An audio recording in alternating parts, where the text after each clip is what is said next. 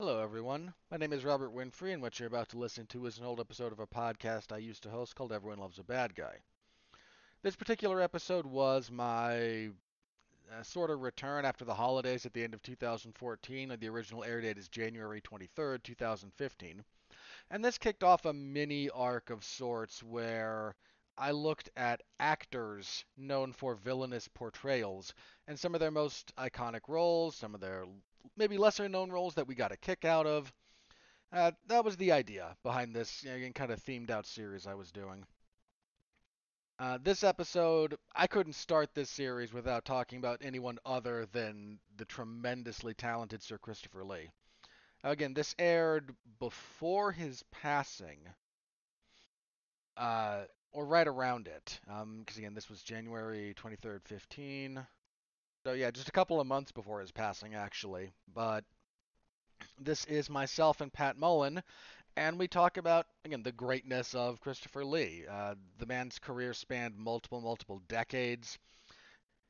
Uh, his turns as Dracula, the villainous uh, character in Star Wars, uh, Count Dooku, Saruman, of course, from the Lord of the Rings franchise. Um, we just heap praise upon the man because he's his body of work is tremendous. So that's what you're in store for an examination of some of his roles. Some you might know, some you might not. So give it a listen. It's Pat and I geeking out about one of our favorite actors. You know, what uh, that's all I can do to sell you on it.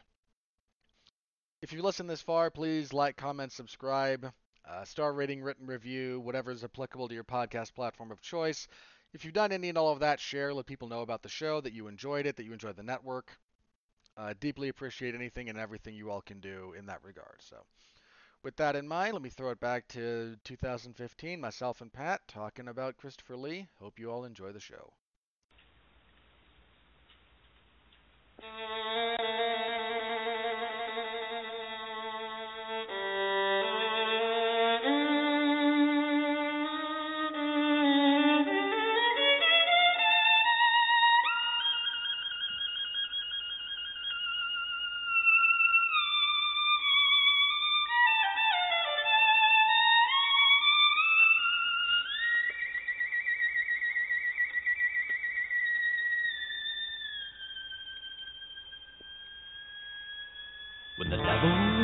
Busy and death a bit too much, they call on me by name, you see, for my special touch. To the gentlemen, I'm misfortune. To the ladies, I'm surprise. But call me by any name, anyway, it's all the same. I'm the fly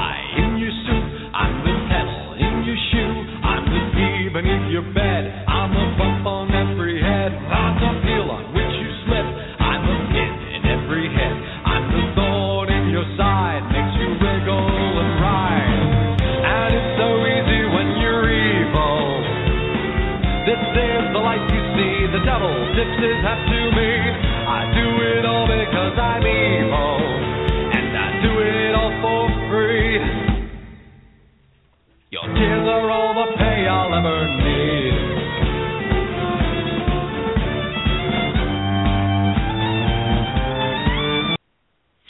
All right, ladies and gentlemen, boys and girls, children of all ages, I am back. God, that feels good to say. Hi, this is Everyone Loves a Bad Guy. I'm Robert Winfree, and thank you all so very much for joining us here. Uh, this is my personal podcast. I have been, I've had the show on hiatus since November, give or take, of uh, 2014. It's been a rough couple of months. Uh, stuff personally, over all the holidays, stuff, but show's back, show's ready to rock and roll. I want to thank you all so very much for still listening to this, for sticking with uh, me, the show, all the support that you guys have shown me. I really do appreciate it. Uh, I, I mean, if it weren't for you guys, again, kind of being out there, knowing you're all listening, I probably might have just kept the show on hiatus. But I like it too much. You all like it, and I'm ready to rock and roll again. I'm I'm back. You know, I feel good. I feel really good. I feel ready to keep going. And we're kicking off a new chapter as far as Everyone Loves a Bad Guy goes. I've done themes before. I did several months devoted to comics. Uh, I did a series of television on television shows leading up to the Breaking Bad finale. I, I don't mind theming out several weeks. Well, we're starting one this week. We're going to be looking at actors who made their chops in villainous roles. Uh, there's a bunch of names that spring to my mind almost immediately thinking about this, and uh, we'll go through a bunch of them later. But uh, that's kind of where we're going. I want to focus several of them individually. I'll have a couple of shows that are just kind of hodgepodges as far as you know, maybe discussing three or four different guys who don't have necessarily the filmography to devote an entire show to. Elements of this I'm still sorting out, but that's the basic thought process moving forward. And tonight we are kicking this whole thing off with maybe the greatest of all time as far as actors playing villains go. We're talking about Sir Christopher Lee. Knighted, the man's awesome. Uh, we're going to go into great detail about some of his roles, what makes him so great. But before I ramble on too much on my own, I need to bring out my co-host, my guest, the man who agreed to step up and do this with me. For what? Uh, sorry, Radulich and Broadcasting Network MVP, pugilistic pontiff, the poor man who lives in New Jersey, and I say poor just because it's New Jersey. I, I can't help but feel bad for him. Uh, Patrick Mullin is back here with us tonight, everybody. Pat, welcome back. It's been far too long.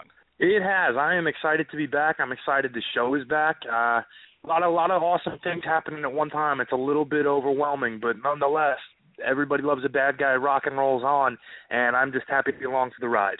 Um, when I first decided I was going to do this, I am, for some I'll tell you exactly why I thought of you. This leads into a minor pseudo apology I have to give to everyone out there. For longtime fans of the show, or if you've heard the selected episodes and just happen to have a very good memory, uh, Pat's been on here a few times. Uh, I'm always happy to have him. But he and I have covered some of this ground before. Uh, specifically, he was on when we talked about Dracula, and that's going to be a fair amount of what we talk about uh, for kind of the middle portion of the show because Christopher Lee is such a prolific version of Dracula. He was also on my two-parter on James Bond villains, and we spent some time talking about him there, and we'll be rehashing a bit of that here. So to anyone who's listened to those episodes, you're going to get a little bit of a rehash here, but we're going to be talking specifically about him uh, instead of kind of the generalities and that we did with some of the others. So I'm just going to issue a very brief apology there. But I thought about you because on the aforementioned Dracula podcast, you mentioned something, and for some reason it's kind of stuck in my head that Christopher Lee as Dracula from the old Hammer movies caused uh, poor little Pat Mullin to stay awake at night clutching his rosary beads. And I don't mean to embarrass you or anything, but I it's impossible for me not to have thought of you when I decided I was going to do this, and I'm very grateful you were willing and able to step up and join me for this show. Oh, my my pleasure, and it's a compliment to the man we're about to talk about that he had that effect on me, and ultimately that's kind of what the goal of those roles are. So, you know, if I'm here saluting Christopher Lee, it's only proper that I do it the right way. All right, uh, I I want to talk a little bit uh, about kind of his background. I mean, Christopher Lee is into his 80s now. He actually served in World War II. For those of you who don't know that, I think he was stationed in uh, Sweden or Finland. I forget off the top of my head which one. One of those Nordic countries for a portion of that. Uh, but he had a he had a pretty good military career uh, fighting in World War II. He started acting because someone told him he was too tall for it, which is one. Of, he jokingly referred to this as one of those famous lines like, you know, you're too short to be a singer. Oh, I'm too tall to be an actor. Well, I'll show you. I mean, well, in all fairness, the man is six foot five. Uh, there's not too many actors with that kind of height. I think he and Vince Vaughn are like the two kind of famous actors who are well over six feet tall that consistently work when they want to. Uh, but he started out really kind of a, he got his bones working in the kind of the low budget Hammer horror productions. Uh, I think the first one he appeared in for them, he appeared as uh, the creature, Frankenstein's monster in one of their adaptations. I will find the specific adaptation here, but it's the Curse uh, of Pat, Frankenstein, I believe. Okay, yeah, probably. There were a lot of curses going around those ones. Uh, let me double check that. And do do do do. Yeah, yeah, that's correct. All right. Uh, but first of all, Pat, as far as that one goes, I mean, you cast a guy who's naturally six five as the creature. It's got to make life easier for the director. You don't have to employ too many trick shots to make him look imposing. Yeah, you would you would think what an asset that would be that you have this, you know, especially in comparison to the height of the other people in the film that this guy is so much taller than everybody involved that he's going to create that intimidating presence that is arguably for any actor the most important part of the creature because uh, you know when we look at the creature uh, and what the what the creature does and it's not something that's menacing with its words or it has a specific uh monstrous feature like a vampire or a werewolf. It's largely the presence that is the most intimidating part and when you have somebody who's able to convey that and not just with their physical height but the way they can carry themselves in that role it's it's it's going to give you a big boost. And obviously it did because the film wound up becoming a, a real unexpected high success and kind of kicked off the entire run of Hammer Studios' success from the late 50s into the mid 70s. Yeah, he played uh Christopher Lee did. He played a couple of different kind of the silent horror monsters. He actually played uh The Mummy a couple of times as well. Uh did a lot of stuff opposite uh his actually very good friend, the late uh Peter Cushing, who, uh, for those of you who aren't familiar with his body of work, uh, most famously, I think he's, ah, oh, what the heck was that guy's name? Grand Moff Tarkin. Uh, Grand Moff Tarkin, thank you. Yeah, from uh, the first Star Wars movie. But those two had a lot of collaborations together, and uh, the thing, one of the things about what he was able to do in those movies, like Pat, like you just mentioned, it's it's present. You know, it, it's not necessarily physical stature. It's carrying yourself. It's it, this really kind of enigmatic, odd thing that is just you know kind of screen presence or star power, and not everyone has it. It's something that is just, some guys have it, some guys don't. There's really no two ways about it. And one of the things that, as far as being the creature, and I need to bring this up a little bit, Frankenstein's creature is a terribly difficult role to pull off as an actor, and that that doesn't sound. I mean, you think about it, and it doesn't sound terribly difficult. I mean, you know, depending on how the creature's written, you lumber around, you look intimidating, but I defy you to name me any three great screen adaptations of the creature with two exceptions, one being again Christopher Lee's and the other is Boris Karloff the original creature. I mean, when you consider the volume of movies that have adapted that story one way or another, and some of the quality of actors who have, ta- who have taken on the creature, and it's so hard to do right. I mean, uh, Mary Shelley's Frankenstein had Robert De Niro of all people taking on the role, and he just I mean, there are plenty of other issues with that movie, but he doesn't have the same kind of presence. He doesn't have, you know, you, you don't really, he doesn't come across as the creature. Aaron Eckhart, God bless him, failed miserably in I Frankenstein, although again, plenty of other problems there. Not his fault, mind you. I'm not saying that was his fault, but there's a lot of guys who have tried to be the creature and have not been able to do it successfully, and it speaks a lot to his talent that he can do that in one of those versions of the monster that is just again kind of the mute lumbering uh you know monstrosity that we kind of got courtesy of again the Karloff version which set the cinematic standard even though the actual creature in the novelization in the novel novelization is quite different but i mean name me one other guy who ta- who was able to successfully tackle the creature and bring it to the big screen, and I'll be suitably impressed. Yeah, you you know, hit on the, only two who really did somebody? it. To to me, you hit on the only two who ever accomplished it in Karloff and and Lee. And again, pro, you know, Kar- Karloff obviously a prolific career in his own right, but Christopher Lee, we talk about that presence and not just playing, you know, Frankenstein, but playing the Mummy too, which actually was a, really a role where he had less kind of I'm trying to look for the right word, but he definitely had to emote with his face less. He cause because he was wrapped up in bandages. bandages. At least yeah, yeah at least as like the creature. mime work. Is yeah, kind of at least as the creature, he had he had his face facial features exposed where he could you know make a certain motion with his eyes or or glance a certain way. As the mummy, he couldn't do any of that, and yet being a consummate actor, he's able to use his body and understand the internal language that we all speak and don't always realize we are, and make the most of that too, which was even more difficult than the Frankenstein's monster role.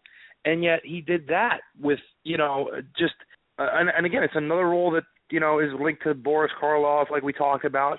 But he took that and made it his own, and it's really to me not a surprise that that Mummy movie by unit by Hammer in many ways is superior to the earlier Universal film and is considered as such by most critics. Yeah, I much prefer that version of the Mummy too. So I I have a soft spot for you know the old Universal Mummy. I mean, I don't think there's a horror fan out there who doesn't. But something about the way they translated that story into Technicolor, and again, you had the great tandem of Christopher Lee and Peter Cushing. Uh, you had just so many great things that came out of that movie, and some funny stories. Uh, actually, there's okay, brief history here. My actual introduction to Christopher Lee came courtesy of a VHS, uh, VHS, two VHS tapes that I got for Christmas one year. I believe one of my grandparents got it for me. It was uh, two uh, two parts of I think it wound up being like a four part uh, kind of documentary series called 100 Years of Horror that's hosted by Christopher Lee. And he shares a couple of stories from shooting that from shooting uh, one of the scenes in there. Uh, he was he breaks in through a pair of like uh, great glass French doors, and well, the doors were not properly loosened by the prop shop guys, so he bursts through them as he's supposed to and dislocates his shoulder in the process. The glass was not sugar glass, it was actual glass, and for anyone who doesn't know the difference, uh yeah, that's not nearly as good. So he wound up stuck through with pin cushions. I mean, and it it didn't it doesn't seem to faze him at all. I mean, he's still on screen, he's still acting, he still goes through with it. You know, and again, getting that I'm trying the the closest comparable thing I can think of as far as what he was able to accomplish with uh, again body language and presence and, and, it's very different mind you but again kind of the closest thing I think is uh, what you've seen Andy Serkis do recently with motion capture work in that he's able to act so well with everything I mean including his face but his whole body becomes part of what he's using to convey the story. It's not just in the eyes or the voice. Everything he does is designed to contribute to that overall story, and it's something that I think a lot of actors tend to forget as far as what they can do when they're on camera. You don't have to just you know, you're not limited to your face. You're not limited by your face. And a lot of guys are. I mean, a couple of specific examples real quickly. Uh, James Marsden who played Cyclops in those first X-Men movies the poor guy is a fine actor, but it seems like there's a visor over his face and he can't do anything when he's got something on his face. When there and again, I can't say there are too many people who would have done more with the role, but he can't seem to get over the fact that there's this giant prosthesis on his face. Uh, Johnny Depp can't seem to act through makeup. This is a topic that Sean Comer and I have talked about many times, and it, it's such a huge credit to Lee that it doesn't matter if he can't. He does oh god, we're we move on to Dracula. There's actually I found this online. His the entirety of his spoken lines across like the four or five Dracula movies he did for Hammer consists of a grand total of like nine minutes of actual dialogue, which is insane when you consider how well he's remembered and thought of to make that kind of an impact with so little dialogue and in some cases actual screen time. I mean, if yeah, you don't mind, in, in fact, Go ahead. In Dracula Prince of Darkness, which is the second film in that series from Hammer, the, their legendary Dracula series, he does not have a line of dialogue. He says nothing, literally nothing, throughout the entirety of that film. His screen time is basically anything audible from him is kind of a hissing noise or a growling noise and everything else he does is exactly what we've been talking about. It's his presence, his emoting, his facials. That's what he does in that whole movie. His his real dispute with those movies and why they they alleged to only have that much time with him was that they he had disputes over the over with Hammer as far as how the movie should be done and some things that went on with them and basically he alleged that he got blackmailed into doing those movies at times because of them telling him, "Hey, well, we've already committed to making this film. Think of all the people you're going to put out of work if you refuse to do it. We sold it on the basis that you're in it." And he says he went to work kind of protestingly because he didn't want other people to go out of work, and he feels that they they intentionally created stories to minimize the time he spent on screen. And he called it formula, where if you look at those movies, they basically have a plot that's about everything but Dracula. He's just a plot device. And yet, the most remembered thing about those movies is his performance and what he was able to do.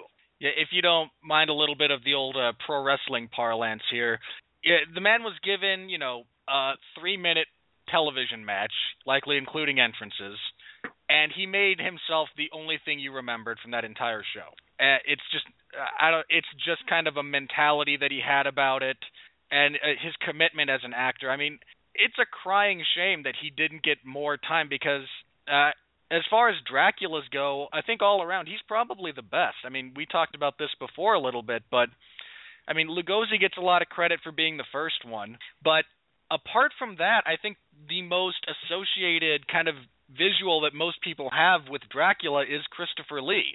And to be able to accomplish all that with so little you know, time actually spent doing it, it's absolutely incredible. You, you you get that takeaway from him where he took a role of arguably the most iconic villain character in you know in, in existence a villain that's carried over into every medium possible has constantly been reinvented reinterpreted brought back to life no pun intended over and over again much much like he was in the films and yet whenever people talk about who the best was not necessarily who the most uh the most thought of with the role because you you know people will always associate Lugosi because Lugosi basically created a lot of conventions by just being himself with his Hungarian accent that have taken on into the character and and a lot of its interpretations. But you go into uh, who who the best was, and while the original may be one, the most iconic is still to this day Christopher Lee.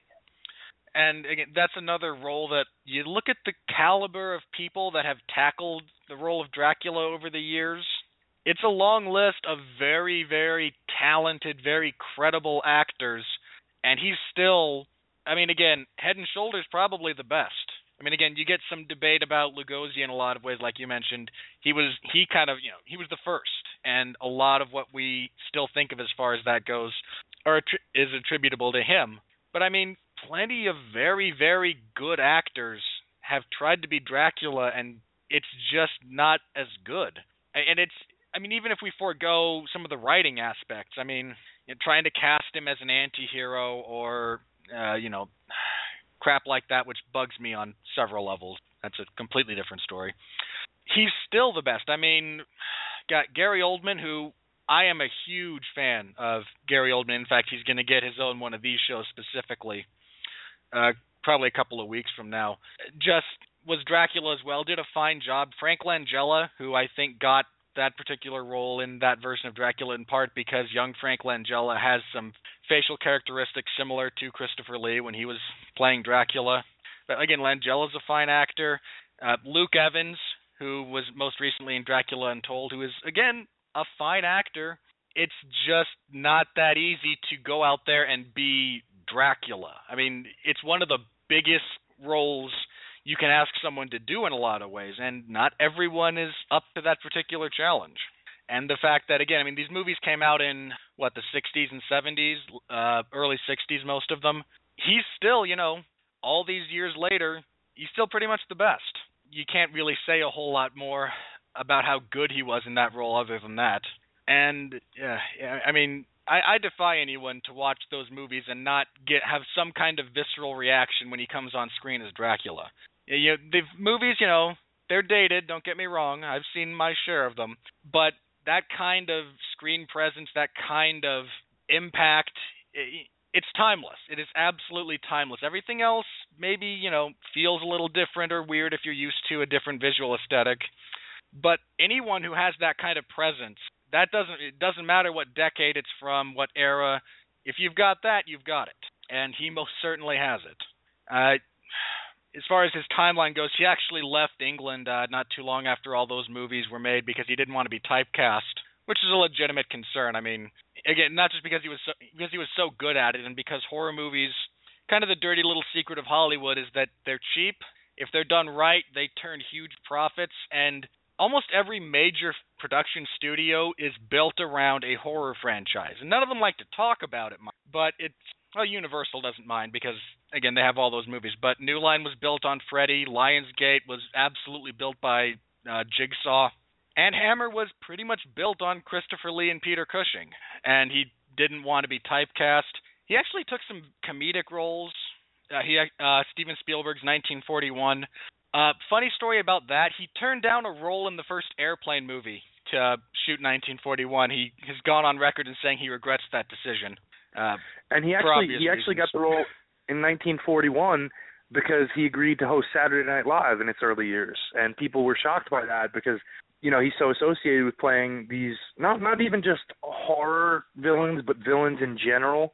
And people are like, can can he do comedy? And then he went he goes ahead and gives one of the best guest hosting performances in the show's early years, and just on the basis of him doing sketches, gets this part in 1941 which may have been, you know, a critical failure, but that has more to do with the production and the performances involved when you consider a cast that also has the likes of John Belushi and Dan Aykroyd in their respective primes. Yeah, that's and I would still hold up his guest performance on Saturday Night Live to anyone who's done it recent uh, ever, really. I mean, I, again, I think quite highly of it. And it's so much better. Uh, it's almost as good because he's so. It's not what you think of. You know, you you expect him in kind of serious situations, and he goes out there and performs comedy very well. You know, it's not something again a lot of people in his in that position have that kind of versatility, and he absolutely did. Yeah, you go from playing, you know, the the classic lineup of monsters that he played to, uh, you know, a, a fictionalized version almost of Rasputin, the real Rasputin, uh, who in many ways is science fiction in his real life. Uh, the, yeah. the the legendary Fu Manchu character, who's you know nowadays it's not it's not PC to mention Fu Manchu because he portrayed seemingly every negative Asian stereotype that you could when he was conceived as a villainous character. And he goes from that to stealing the show on a comedy show and getting part, you know, these parts because people find out he's not just this type of actor. He's just a brilliant actor. Period. Yeah, that brings us to uh, I don't know if I may have skipped this chronologically, but there's one I have to bring up here because I feel this is one of those movies that is either forgotten or overlooked or just not seen enough. And I don't know if you've seen it. I forgot to bring this up before the show with you. But so I'll go ahead and ask you on the air. Why not? Uh, we can edit this out. No, I'm just kidding. I don't edit this. Uh, what you see is what you get, folks. Uh, have you seen the original Wicker Man? Out of just curiosity. Oh, of course I have. Of Okay. course I have. then you know what I mean when I say it seems like one of those movies that gets either forgotten or just flies under the radar, or God help us all, people only think of the awful Nicolas Cage version. I hate that movie so much. Ugh. Uh, but I, I want to talk about that one because that's uh, well, brief story. I actually watched the Nick Cage version of The Wicker Man first, and Oh. I was eh, yes, uh, my brother uh, told me this is the worst thing you'll ever see. Both stupid and a little bit dubious about that. Said, "Oh, okay, we'll see about that."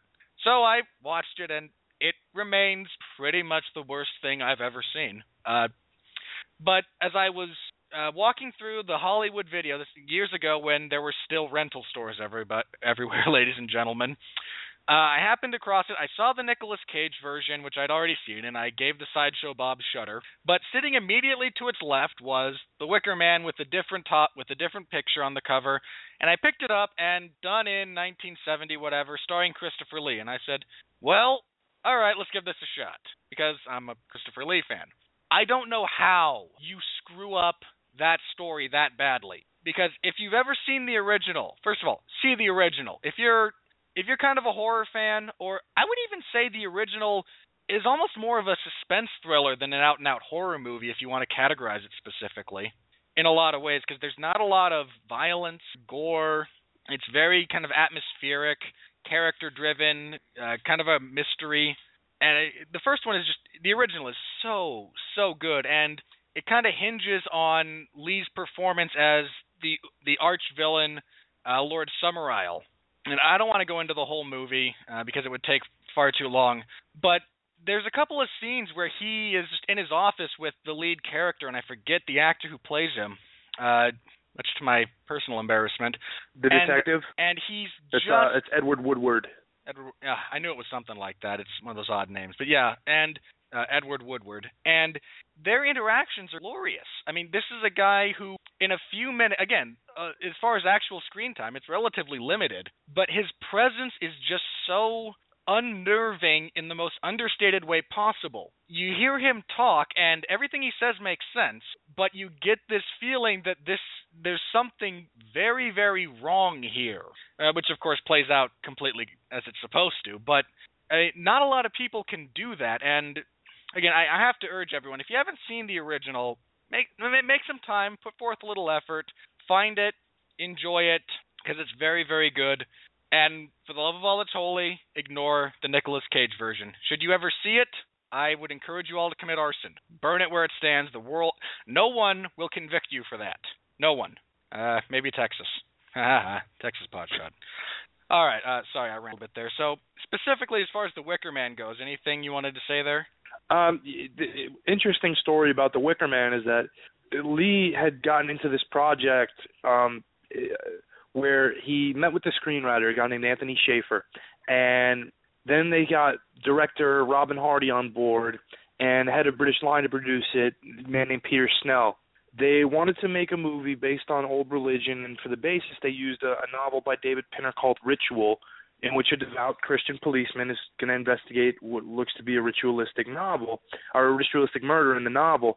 And they decided they had to adapt it, but the budget they were given was so small that Lee, who believed in it so much, offered to play Summerisle for free because he knew that this movie was going to be great and he knew that this was going to be something that people would talk about for years and years and years and to this day he considers it the best film he's ever made and Summerisle un- until he played the founder of Pakistan in a movie that got you know massive critical acclaim when he played Muhammad Ali Jinnah. That was the role he always pointed to as he thinks I did my best acting here, pointing to Lord Summerisle until you know 1998 when he played Jinnah. Uh, which says a whole lot about how much he enjoyed that particular role because uh, Jinnah is one of those sweeping epic stories that uh, just fabulous, and he carries that one uh, masterfully by and large. Uh, moving on from Wicker Man, I, I, had to get that out there because I know there's a lot of people out there who only have association with the Nicolas Cage version, and I just, I again, I have to plead with you. That move, that version sucks. Watch the good version. And again, I don't know how they botched that remake so badly. I can point to Nicolas Cage. Don't get me wrong, he doesn't carry the movie the way a lead kind of should, but there are a host of writing and production errors and problems with that film that go way beyond Nicolas Cage being bipolar, going from normal to screaming Nicolas Cage. Doesn't help, but he is far from the only flaw in that. Ugh. Again, my issues with that movie. God, it's so bad. If you haven't seen it, don't. That, there's my review of that one. Don't. It's not worth the time or energy. All right. Uh, the other one I want to touch on, kind of from about this same era, is another one you and I talked about previously. Um, uh, his turn as the James Bond villain uh, Francisco Scaramanga in uh, The Man with the Golden Gun, which is uh, again you and I talked about a little bit about this previously on the James Bond uh, part one of the James Bond series we did. I'm pimping all my old stuff tonight, everybody. You just you'll have to go back and re-listen to it. It's still there, I promise. But he and uh he's opposite Roger Moore, who's one of the better uh Bonds by and large, or at least considered that way. My opinions aside. And he's again, this is one of those things that we've already mentioned. Presence. He is a legitimate threat to James Bond, and that's not something a lot of Bond villains have. A lot of them are never actually a threat. They put him in peril, but the number of people who are believably threats to the character of James Bond is shockingly small, and Scaramanga ranks among the very best as goes. And, and the thing is too with Scaramanga, he's not looked at as one of those prolific, everlasting James Bond villains the the way you know somebody like Goldfinger or Doctor No is. Yet in many ways, he's probably if you're crafting a perfect foil for Bond, it's Scaramanga, particularly in the way Lee plays him, because he dif- he differentiates from the novel as as most of the James Bond films do. But this is one of those times you can point to it and say this is really a better take on it because in the novel, I think Lee actually is, is credited with the quote saying he's just a West Indian thug. Whereas in the movie, the Scaramanga you see is almost an an inverted James Bond, where he's he's he's very much in line with the same qualities as Bond, where he's he's this you know elegant kind of charming guy, but completely lethal at the same time, and it's almost a, a different. It's it's he's a guy who you could have easily seen James Bond turning into had his mentalities and loyalties been shifted that way. And that's what makes the character so good, but it wouldn't have worked out as well if you didn't have somebody who could convey these things as well as Christopher Lee could. And it's funny because we talk about nowadays how acting is a little bit of a lost art where the the movie business is a much more cosmetic business in terms of their leading men and ladies than it was at one time. And it, you go back and see somebody like Lee utilize these little things that will always make him stand out. And you watch it now after being subjected to a lot of modern quote unquote actors and it really makes you appreciate the people who mastered their craft the way this guy did. And it's why he still stands out and why even into his 80s he books extremely prominent roles in very high profile movies. Yeah for me the main thing that i remember about man with the golden gun is when he and james bond are on his island and they're negotiating their duel. And he meant and they're setting up the terms of that and he mentions, okay, Bond, you get your famous Walther, I'll have my gun, and Roger Moore kind of very subtly raises an eyebrow and goes, "My, you get one shot to my six shots." And Christopher Lee's response is so subtle in terms of what he does with his posture and his face, but he gets just the barest hint of a smirk. His whole posture shifts, and his response is, "I only need one shot." Brilliant display of being able to convey everything you want to convey. I mean, that line could be get could be delivered any number of ways, and everything else apart from the line and delivery, you even if you're just if you can't hear that whole scene and you're just watching it captioned, you still know exactly the tone with which he delivered it because he conveys it with everything in his body. Everything that's on camera shows that confidence and that arrogance and it's not something most people do. It's uh, again, it's a very lost art in a lot of ways, uh, which is a crying shame by and large. But uh, that's again a completely different discussion at times.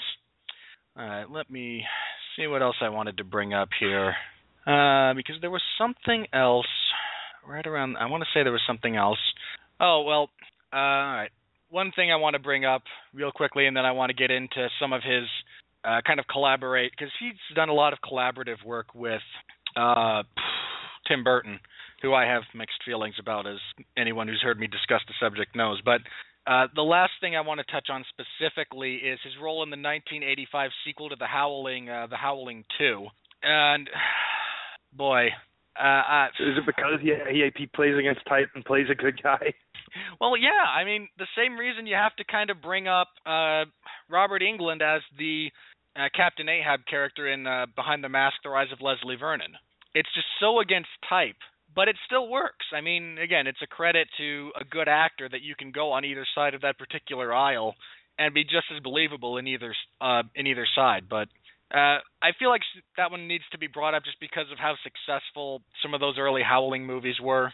Uh, Howling was one of those first those first but... it was one of those first series to really take advantage of video distribution as far as not necessarily le- needing a wide theatrical release because the producers of the film understood how strong the home video market was becoming in the mid 1980s and specifically for the horror genre uh that it became a huge huge tool because you were able to make these movies on a lighter budget because you weren't seeking the distribution money for major theaters and as long as you had that first initial foot in the door with the first entry in the series as a theatrical release and it did well, people who were making a regular thing at the time out of going to the video store on a Friday night or a Saturday night and you know you you have a market where there are couples looking for uh you know a scary movie usually young husband and wife or boyfriend and girlfriend or people who are dating they want to do something they rent the movie.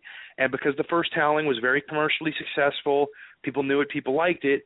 They took a bankable horror name in Christopher Lee. They used they had limited theatrical release which was fine and all they really needed kind of doing the minimum in that regard but they understood that video market and so they have a bankable name that people know and people like.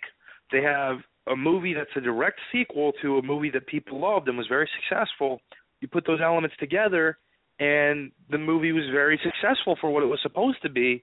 And actually the critical reaction for a straight to video horror sequel is fairly favorable and most of that has to do with the role Lee played because if you look at the other leads in that movie, Reb Brown is somewhat recognizable because he had played some significant parts in the 70s and early 80s. Uh Specifically, he was Captain America in two ill-fated television pilot movies, the second of which, mind you, featured the lead villain of Miguel, a terrorist played by one Christopher Lee. Yeah, he's again Christopher Lee's done a lot of stuff. Uh, his filmography is rather extensive and a lot of good stuff. And just real briefly to mention his comedic stuff again. Uh, he plays, I believe, I haven't seen this movie in a really long time, but uh, the second Police Academy movie, actually, uh, he plays, I believe, the villain. The seventh. Correct. Sorry, what seventh was that? The Police seventh? Academy movie. Yes. Uh, oh yeah, sorry. Uh, but yeah, he's uh, Mission to Moscow. Here it is. Yeah, he plays the villain in that, doesn't he?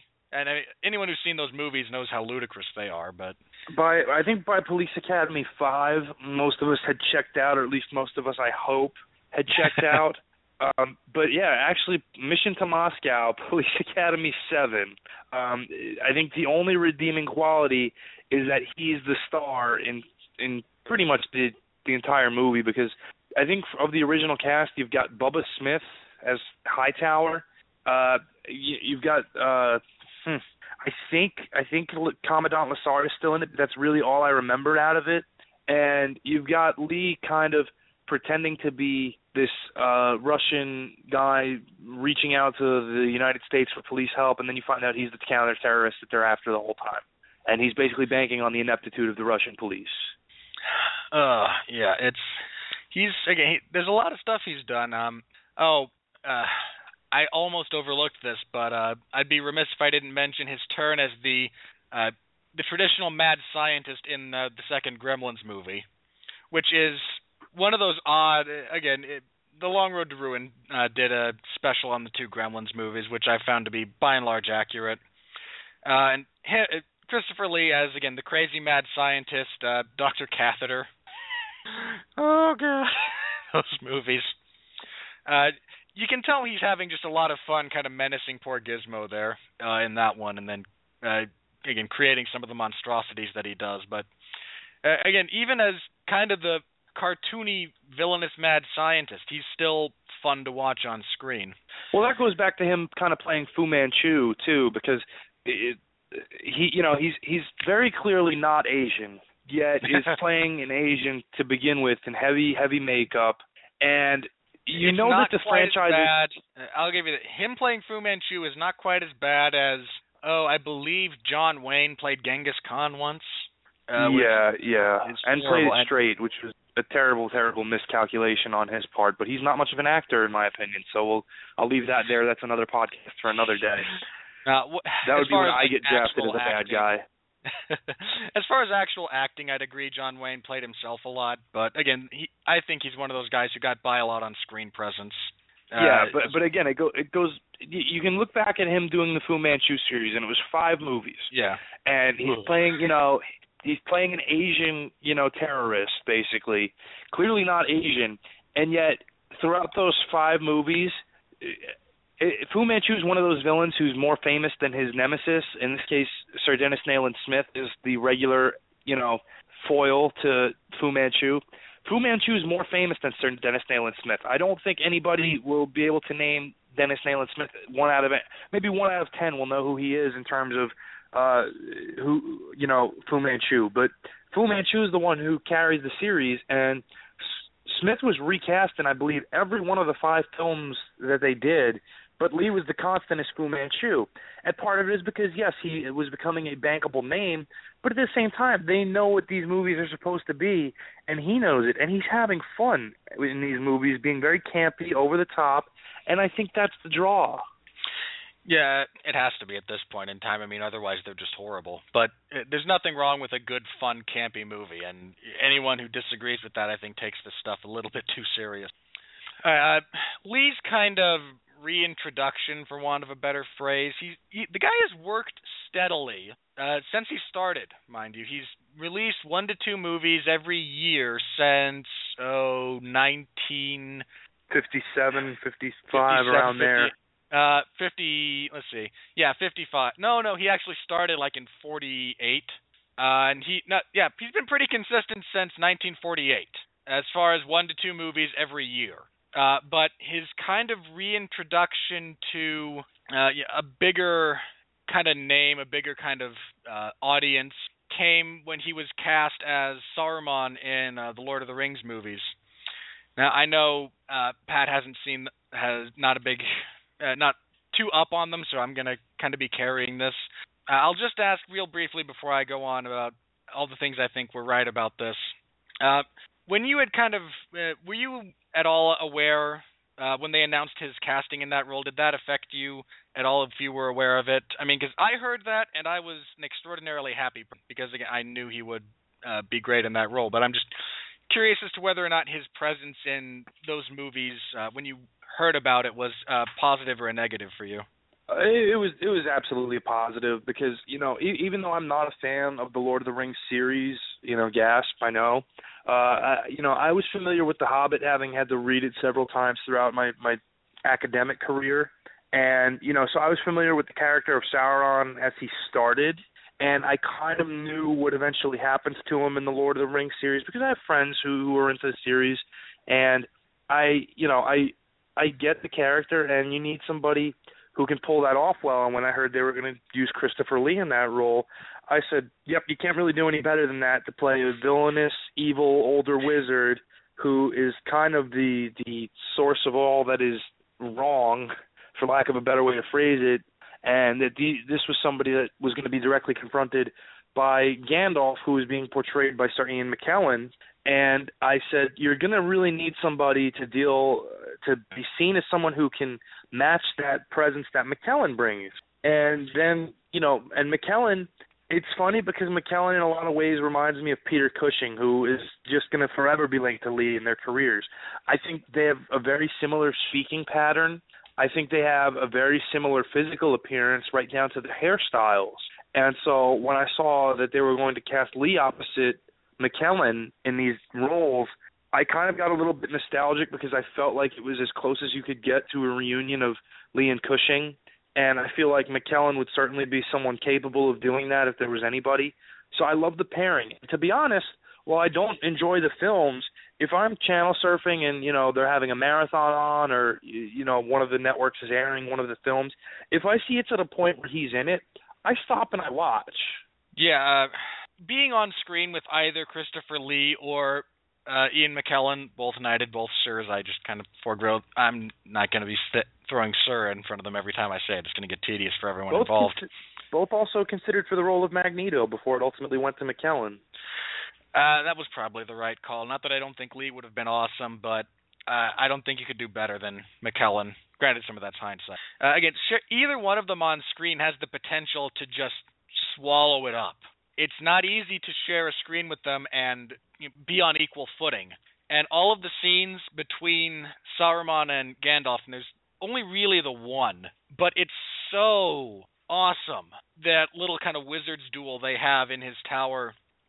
Uh, his voice and the delivery of the lines, the way he kind of sets you up.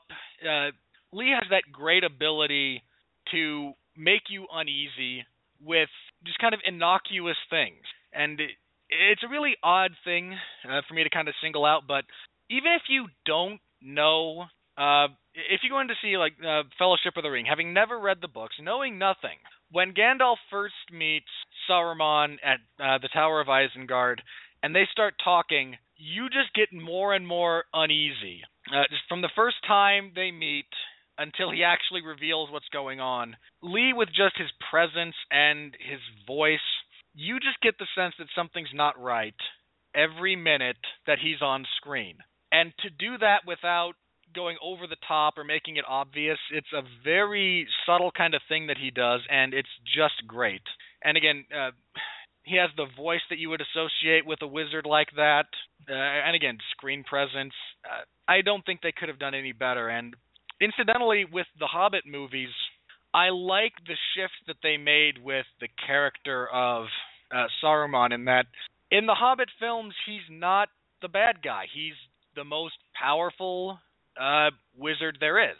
But he's not been corrupted yet. He's not evil yet. He's just a wizard with a different perspective than Gandalf's or any of the others. And to see him take that same role that he did so well being the evil fallen wizard, and then to make it kind of the opposite in that you actually see where he's coming from a little bit, and you're you're happy to see him in a lot of ways because he's again not just powerful, but at this point in time he's a good guy, and again everything he does on screen lets you know that. And I mean, even some of the lines which are still you know, uh, there's the line that Gandalf says that where Saruman believes that it requires great power to keep evil at bay, and all of his philosophy is kind of built around that. But everything he does lets you know that instead of building tension making you go something's wrong here, it's a very, very kind of soothing presence that he has, uh, which is again an absolute stark contrast. And since everything else is the same, I mean, again, these are the same direct, same director, same musical, you know, same composer, same actors. It's all on. It's completely on him whether or not he's able to make this character that we all know becomes evil be believable as a good guy, and he does. And it's again, that's all a credit to his abilities.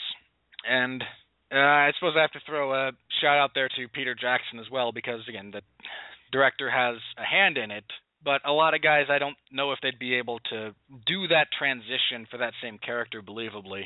Uh, let me see. The one story I want to mention about that, there was some concern about whether or not Lee would be able to play Saruman. He didn't want to travel to New Zealand. Uh, he again over 80 at this point, and was concerned about flying there and doing that. Uh, they actually wound up shooting, I believe, all of his scenes on a soundstage in England. And the fact that everyone else kind of went out of their way to get him to come back should just you know, speak to you about how great he was in that role. Uh, all right, the last one I want to mention specifically as far as screen roles go, then uh, we're going to briefly touch on some of his voice work, uh, singing, just kind of singing his praises. Uh, he also sings, if those of you who didn't know. Uh, we're just about ready to wrap up. We got five minutes left of live time. I'm not going to extend the live broadcast. I don't think this will take the full extra half hour. So to anyone listening live, we'll be done in 15, 20 minutes. Uh, we'll probably cut off between now and then. Come back at that time. The whole show will be up. You can skip ahead to this part. The, the beauty of on-demand audio. Uh, thank you all uh, to everyone out there who happens to be listening live. Uh, okay, the last thing I want to touch on, real briefly, before we move on to some of that other stuff. Christopher Lee in the Star Wars uh, prequel trilogy.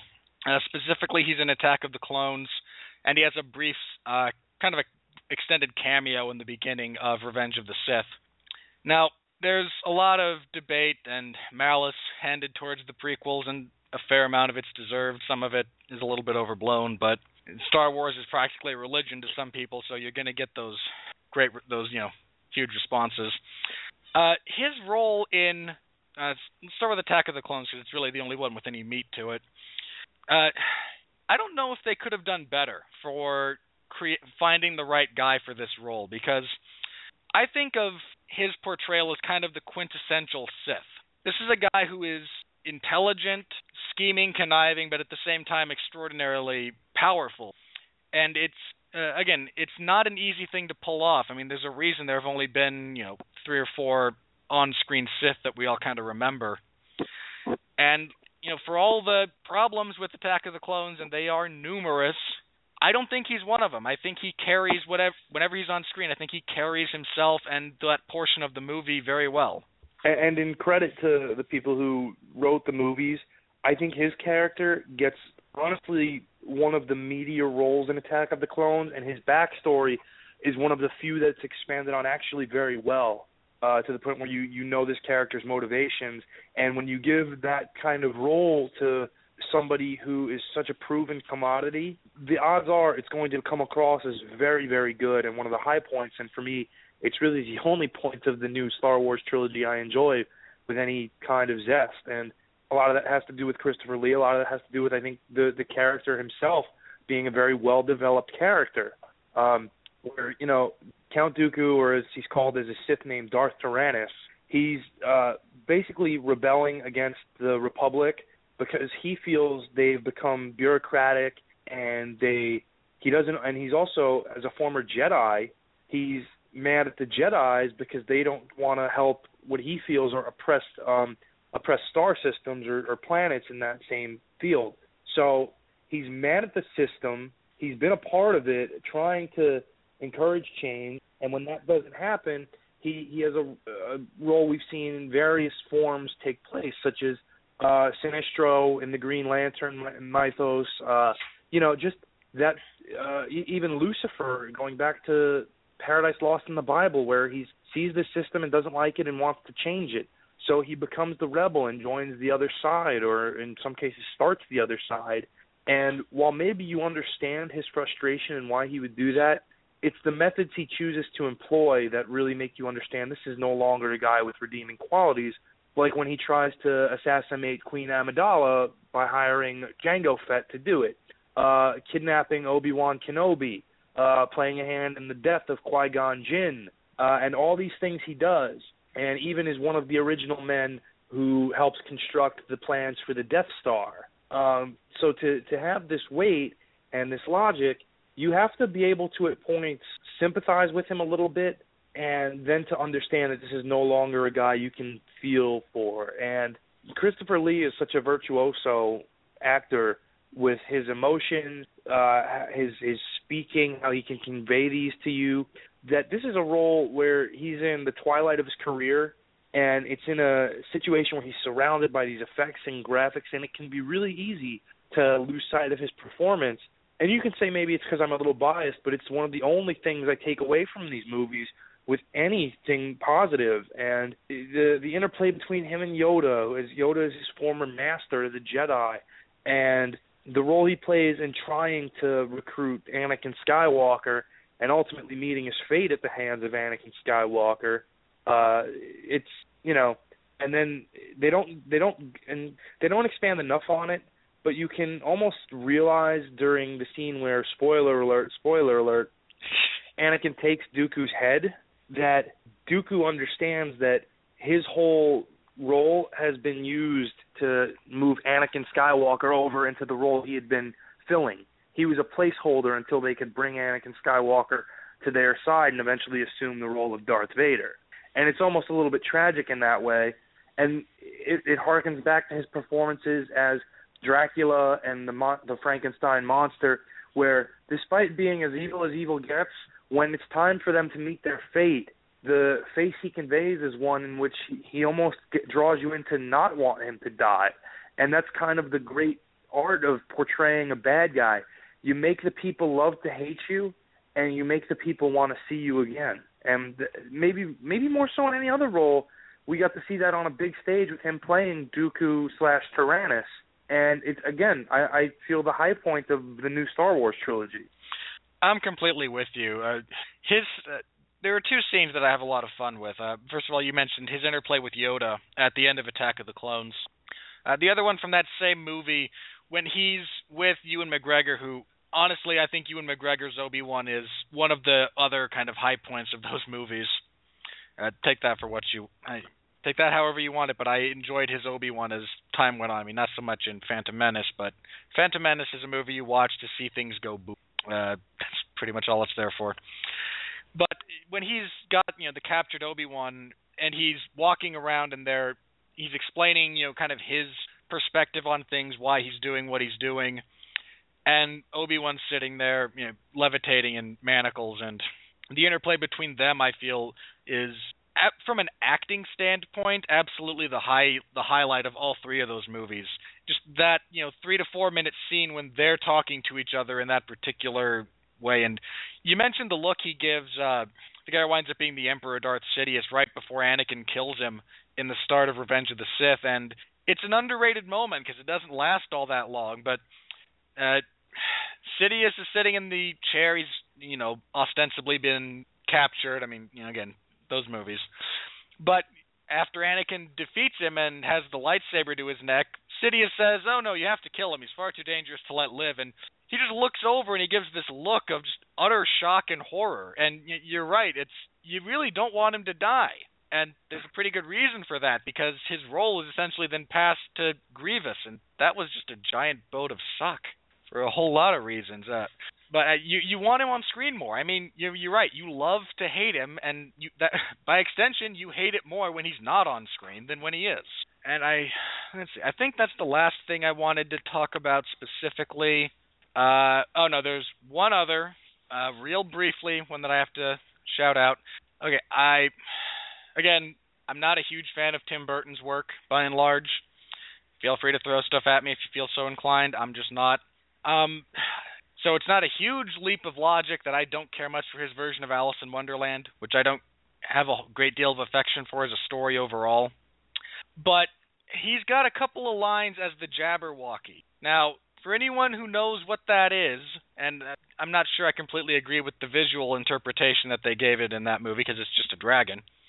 But I remember kind of reading through the casting list for that movie, and you've got so many great actors that have basically cameos in that movie. And he's got one as the Jabberwocky, and that I've seen the movie. That was the highlight when he stares down the poor girl playing Alice, and oh, so we meet again. And I've never seen you before, and his response is great because it's I don't speak to you, insignificant wielder. I speak to the Vorpal blade, which was just one of the it's one of those great it's one of the great underrated insults that I can think of off the top of my head. No, you don't matter at all. I'm talking to that thing. But I, I don't think you again, you're voice casting the Jabberwocky, which is one of those you know, kind of iconic creatures if you're familiar with it at all and again, you couldn't have done better than Christopher Lee.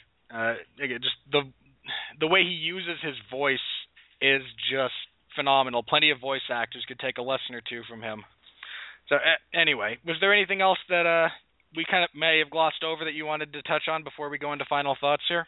I mean, as far as his his real iconic villain roles, we we really have gone over just the majority of them, and he's played villain roles in, in smaller films um, that were kind of some of them are B movies, some of them are you know again Hammer films where he he plays a villainous role or doesn't or actually turns completely around and plays a role like Sherlock Holmes uh, which he's done, or not not sure, and uh, you know he's played in Sherlock Holmes films and Hound of the Baskerville, uh, produced by Hammer. Um, he's just a guy who will never ever stop acting for as long as he's alive, which I think we can all be grateful for. And his real life is what translates so much of that into what's successful. He filmed a lot of the lightsaber scenes as Count Dooku himself because he's got a background in fencing he was able to use his military and world traveling experience to garner roles internationally in films produced in Spain and films produced in Italy because he speaks so many languages. This is a guy who worked in the English Special Forces during World War II, uh, and and to this day, when asked about it, will say we're not legally allowed to discuss what we did, which makes it all the more cool to hear that and to see him go on and take these roles and just add to what's been one of the most prolific careers. And this is after he's turned down roles or or just missed out on roles that have made other people's careers. In, in the Halloween film franchise, he was the original choice to play Dr. Sam Loomis, and it was both offered to both him and Peter Cushing, who turned him down. And Lee has said that's the biggest regret of his career. Well, when you have a big re- career regret like that in a role that clearly is an iconic role and led to a lot more work for Donald Pleasence that he may not have gotten afterward, the fact, and it's still to this day arguably Donald Pleasence's most remembered performance, and this is again a guy who's one of the Oh, Bond easily. villains in its most iconic forms, and when you pass that up, but you still have arguably one of the greatest careers in the history of, you know, professional acting, you haven't done so bad. And uh, while he's mostly identified as a villain, obviously we're doing the show about him. He's he's he's gone to, you know, he's done comedy well. He you know, The Misadventures of Sherlock Holmes by Billy Wilder, where he plays Sherlock's intelligent brother Mycroft. Um, just you know the we talk about voice acting uh, that you you mentioned and how he's done films like a film I used to really enjoy when I was a kid, although I kind of enjoyed it years later in college under the influence of certain substances called The Last Unicorn, which itself is just a a a large trip, but when I was a kid I loved it and his voice is one of the things I always remembered.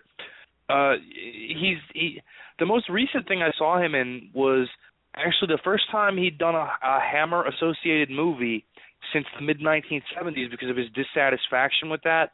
And it was a movie with uh Hilary Swank and Jeffrey Dean Morgan and it was called The Resident and Oh, well the movie movie. itself is not it's not a terrible movie, it's just very predictable and I'm not the biggest Hilary Swank fan. No, you don't a, say. He has a he has a small role and he steals the show. just by being sinister because while he's played every role, it's those villain roles he always goes back to, and I think the reason for that is because he enjoys his role as an, a villainous icon, and again, a small, somewhat inconsequential role in that, but he makes it. And I think that's what he does in everything. And the more you see of him, the better something is. And I, there's not a lot of actors you can say that about and mean it in every role they play. But he's one of them. Well, if you want another example of that, uh, God, God help me, I'm going to bring up Tim Burton again. Uh, his revision of Willy Wonka and the Chocolate Factory, which has so many problems. I, I could list them, but I won't.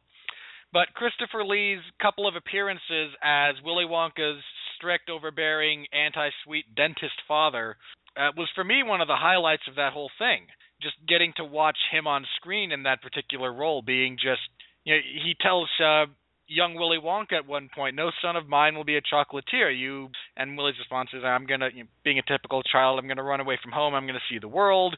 And he does, and it lasts about a day, as most of those things do. And he gets back, in the whole house.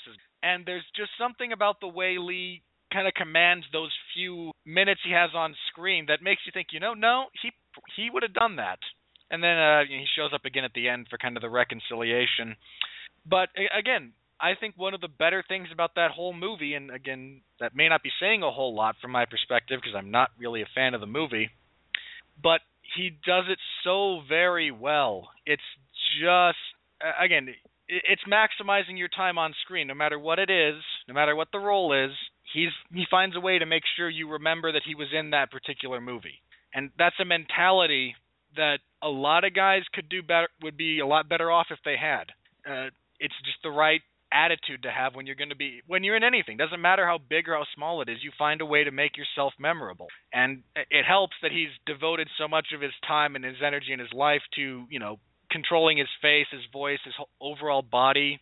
Because uh, i mean i think the biggest takeaway i have kind of from his entire career is the ability to act again i mentioned this earlier not just with your face or not just with your eyes but with your whole body. You're not limited by your face you you can emote with things beyond that.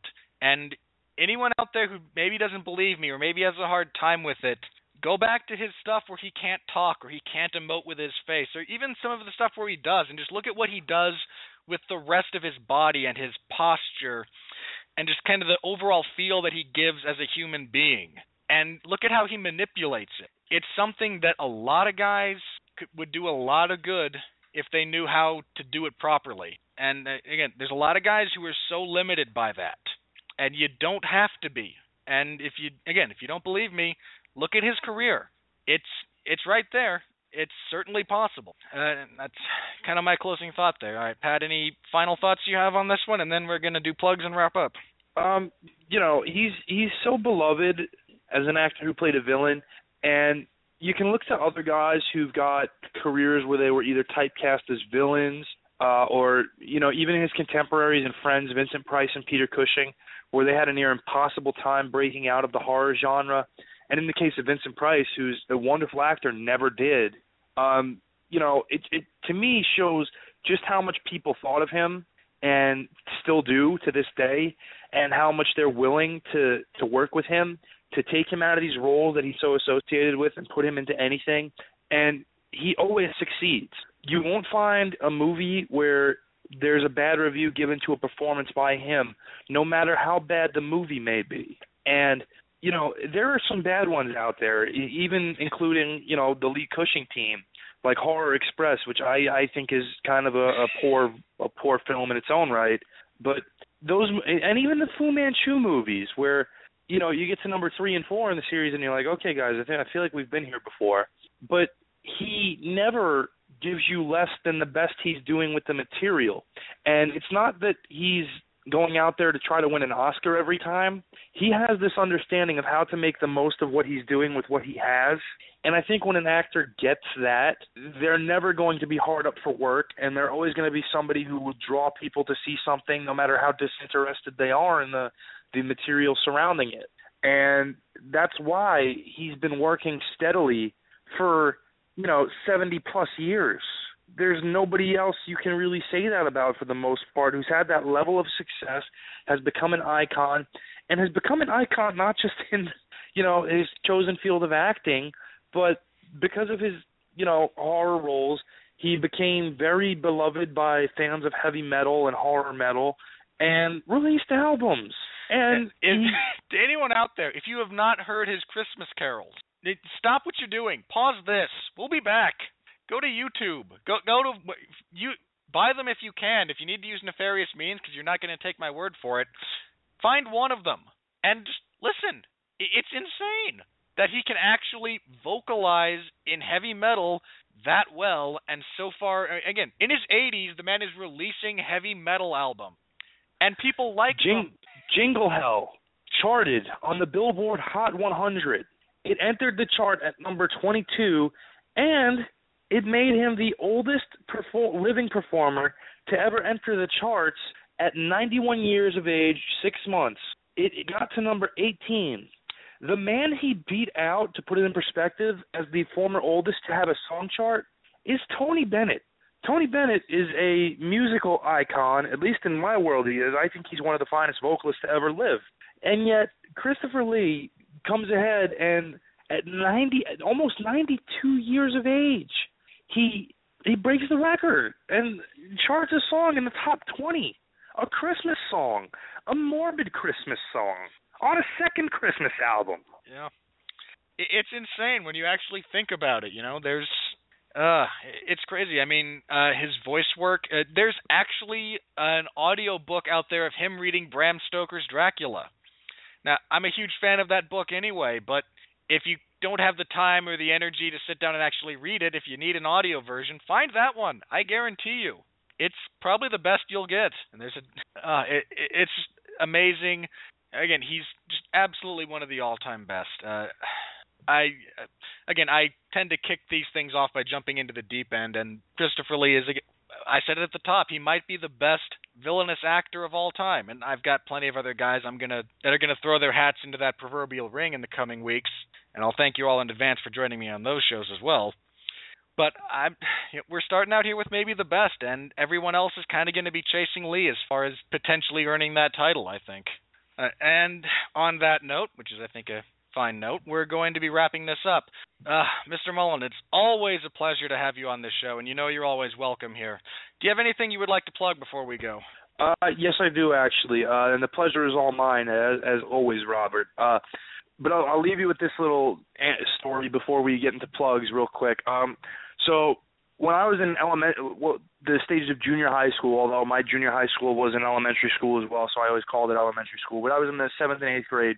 I had a teacher who was one of the real good influences in my life, named Mr. Bill Mason. And if you're listening, Mr. Mason, uh, which you probably are, because this is about Christopher Lee, enjoy. Um, so he found out I was a huge Christopher Lee fan when during Halloween he for literature class he got to let us look into you know myths about vampires and werewolves and the like and I found out he was a huge horror fan specifically of Hammer horror and he was impressed that not only had I seen at least one of the movies at the time I'd actually seen about 3 or 4 of them but that I was a fan of them and then I knew who Christopher Lee was and we got and you know we would talk about it and have fun with it and so I found out that he has an autograph. He had an autographed picture of Christopher Lee. One of the two autographed pictures he had that he was most proud of, along with, uh, at least in my mind, he had one of William Daniels too, best known as Mr. Feeney from Boy Meets World. But this was because he was such a fan of his portrayal as John Adams in 1776. So he held it over my head that he had the writing address to get an, a signed autographed picture of Christopher Lee and basically used it to help keep me in line and not go too crazy because I was a little bit wild of a kid at the time and I was a little bit of a class clown and I know that's hard to believe but it's true. No, wait, really? I, I know, surprisingly enough. Uh, but so one day it's a downtime in class where a lot of the kids who are involved in chorus are downstairs and singing, and that wasn't really my forte, so I didn't do it. And we would just use the time to study, catch up on homework, and whatever. And so he hands me a post-it note, kind of out of nowhere, very quietly, and I look at the post-it note, and on it is the mailing address to get this autographed picture of Christopher Lee. And I'm, you know, with bated breath awaiting day after day after I mail this out. And I had included, you know, a handwritten letter telling him about how much I loved his career and everything. And surprisingly enough, I got a a letter written to me, personalized, thanking me for being a fan, and with an autographed picture that was personalized. And to this day, I still thank Mr. Mason for hooking me up with that address, which I probably wouldn't have ever found otherwise. And I don't know how he did. I don't question his methods. And as his famous quote was, "There are things worth going to jail for." So, uh, but it was just always it was just always something that was really cool and always sticks out to me to this day as one of the the real good times and, and something that'll always mean something to me. So thanks again, Mr. Mason, if you're listening out there, which you probably are. Uh, but um, yeah, this uh, over at the Casual Heroes, I took part in their last WrestleCast, which was a phenomenal train wreck. We discussed the upcoming Royal Rumble, the fallout from the last edition of Monday Night Raw, as well as some news that broke during the week. Uh, I'm halfway through a two-part piece that'll be about the kayfabe character, the character of Hulk Hogan, and why he is a terrible friend to his alleged friend, not about Terry Gene Bollea in real life. He's probably a pretty decent friend since Brian Knobbs and Brutus Beefcake seems to always find some kind of work. But this will be about the character of Hulk Hogan and why he's been a terrible friend to seemingly everybody he's ever befriended in, in on screen in wrestling. And uh, I have I'm having a blast writing it and including you know certain examples. And I think for any fan of Hulk Hogan of that era of wrestling, or maybe somebody who just wants some historical perspective, you really enjoy it. Uh, and I'll have an article coming afterward called Crossroads about how two iconic performers, the upcoming Hall of Fame inductee Macho Man Randy Savage and former Hall of Fame inductee Dusty Rhodes, have, despite two of the prolific, most prolific careers in the sport of wrestling, uh, happen to meet each other at the seeming lowest point of each of their respective careers, and why it's significant. I'll be looking forward to those. Uh, make sure and send me a link once they're up. Uh, real quick, I haven't listened to the Casual Heroes one yet, but who's your pick to win the Rumble? Do you have one yet? Uh, we we each gave two picks, our our true favorite and our dark horse. My mine is I I really feel that they're going to go with Roman Reigns as the winner, and my dark horse was the potentially returning Randy Orton. Oh God, not Randy Orton. That's my one re- my one wish. Uh, I got to stop throwing those out. I throw them out every now and then. One one you know quasi wish, be it MMA or professional wrestling, and I always get kicked in the teeth. Ugh, I UFC resigns Mirko Cro Cop. Don't match him up with Gonzaga. No one cares. You have Fight Night from Poland, headlined by Cro Cop Gonzaga. I just walked right into that one, didn't I? Please don't match up Rory MacDonald and Hector Lombard. It's gonna suck. I know it's gonna suck. Oh look, Rory MacDonald's fighting Hector Lombard. Well, me sideways. Oh well. Uh, so again, don't worry, because uh, I hear they're about to sign Tank Abbott again. Oh god, they probably will. As soon as Bellator says they're interested in him, the UFC will sign him. Take it for what it's worth, everybody. All right, my plugs. I'll keep this brief. Uh, every Sunday at 8 p.m. Eastern Standard Time. That might not be true um, in a little bit. I'll have more details on that as it uh, becomes more clear. Uh, but by and large, every Sunday, 8 p.m. Eastern, I host the 411 Ground and Pound radio show. Uh, your weekly look into the wide, wacky, wonderful world of mixed martial arts. This upcoming Sunday, we will be reviewing uh, UFC Fight Night McGregor versus Siver and UFC on Fox, which takes place this Saturday, which I will also have coverage for. If you want to, if you want to follow along in the MMA Zone of 411 Mania, we'll also be previewing UFC 183, the return of Anderson Silva and uh, that guy. He's gonna crush uh, Diaz, one of them. Nick, that's it. All right, so if you're a fan of MMA, give those a listen. Uh, a lot of fun over there. I haven't written anything uh, very much recently. I've just not had the energy or the impetus to really write anything about the world of MMA, but I'm actually going to turn that into a positive. And unless something big happens next week, I want to write something about dealing with the MMA malaise. Uh, so be on the lookout for that again. If any of that interests you, please. I don't know anything about that. I believe the MMA malaise still has you in a chokehold of unconsciousness, does it not? I, I tapped out to the malaise. I I don't blame you. Uh, I I really don't. Um, keep checking out the Radulich Broadcasting Network. Uh, we've got a bunch of stuff coming up, a lot of great on-demand shows. We've got a website coming up uh, in February. Right now, we have the Facebook fan page, which I would encourage you all to like. It's Radulich Broadcasting Network, R A D U L I C H. Uh, to get all of the updates on guys coming into the website, all of our podcasts are mentioned on there, including this one. Schedules tend to come out through there. Uh, if you haven't l- yet listened to the last episode of The Long Road to Ruin, talking about the Lethal Weapon franchise, uh, do so. It's a lot of fun. Uh, one of my favorite franchises. Uh, partially because Mel Gibson using a triangle choke to overcome Gary Busey's face is always uh, a highlight. Uh, all right, that's going to wrap us up here. Uh, again, many thanks to Pat Mullin for joining me on this show. I imagine he'll be back in the future anytime one of these strikes his fancy. He's uh, not shy about being on, and I'm always happy to have him. Uh, he and I spent have done a few of these before, and I again I really enjoy having Pat on here.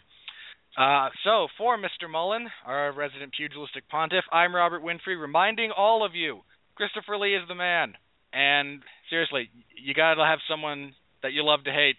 Without a good villain, all of your heroes, they're just dudes, and some of them are douchebags if you don't have a great villain. Yeah, take that for what it's worth. Good night, everybody. I'll see you next week. So say good night to the bad guy.